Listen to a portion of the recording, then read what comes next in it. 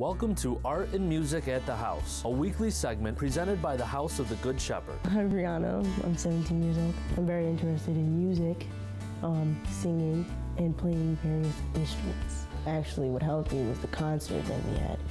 And even though my parents didn't show up, I still sung because I had to pretend that they were there to help me get through the whole show. But the show, thanks to Ms. Dunn actually helped me a lot. It's a really good program and for kids that don't do much, like maybe not have family or anything, can come here and play the drums, play the piano, and distract them from that.